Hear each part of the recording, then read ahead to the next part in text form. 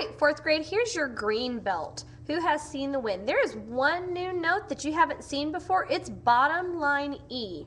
Bottom line E has five fingers down, three from your left, two from your right.